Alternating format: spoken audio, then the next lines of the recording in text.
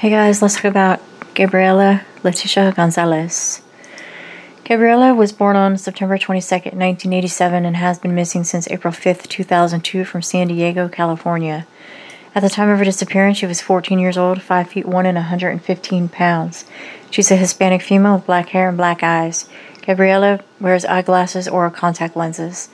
She has the names Gabby and Juan tattooed on her back. Her nickname is Gabby, and she may use the last name Fernandez. Gabriela was last seen when her mother dropped her off at school on April 5, 2002. She did not attend her classes that day.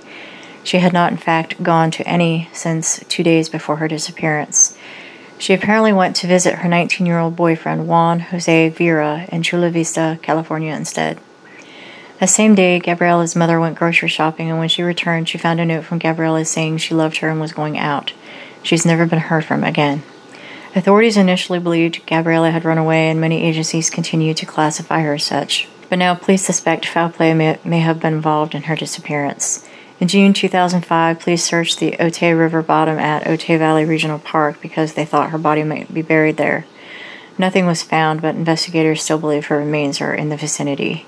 Her boyfriend, Juan Jose Vera, has gang affiliations and was allegedly abusive towards Gabriela, and he is considered a person of interest in her disappearance.